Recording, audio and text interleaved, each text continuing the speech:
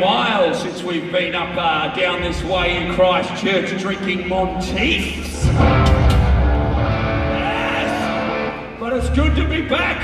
And you know, we don't get over to New Zealand very much at all, and we really wish we could more often, so we got to thank Alice Cooper for bringing us back, baby!